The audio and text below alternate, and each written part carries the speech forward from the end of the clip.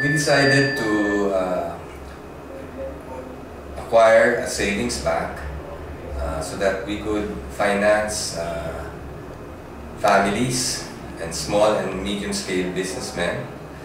uh, with respect to their financing needs. Uh, in the case of uh, families,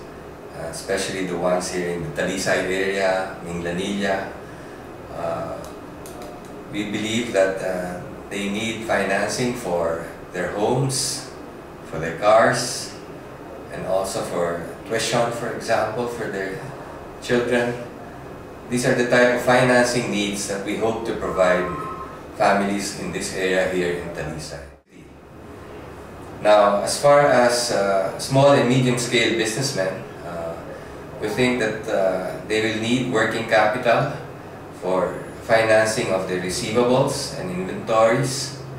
as well as uh, some capital equipment. And what we would like to do is to uh, offer this type of banking to businessmen as well as uh, consumers where they can now bank with us not just by going to a branch but also via the internet using their mobile devices, using their computers and uh, also ATMs.